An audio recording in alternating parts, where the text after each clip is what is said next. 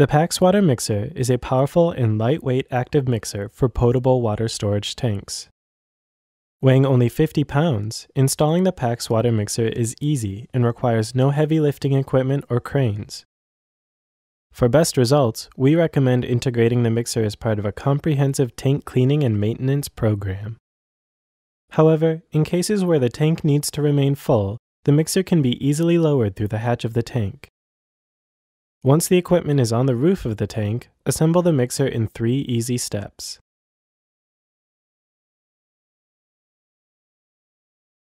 The mixer comes with a long bale lifting handle that keeps the power cord away from the impeller, and a chain to help lower the mixer through the hatch of the tank. Holding the mixer by the bale handle with the legs retracted, slowly lower the mixer through the hatch of the tank. Extend the legs and secure them in place.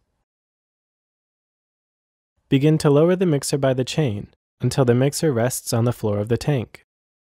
Secure the chain and power cord inside the tank using a service loop and route the power cord through a tank penetration to a junction box or directly to the PAX control center. The mixer is now located directly below the hatch of the tank. While the mixer is not located in the center of the tank, it is able to create a powerful vortex flow pattern that fully mixes the entire volume. If your mixer needs service, use the chain to retrieve the mixer from the floor of the tank. Disconnect the mixer at the inline connector and attach the new mixer. For more information on how to install the PAX Water Mixer, please contact PAX Water Technologies.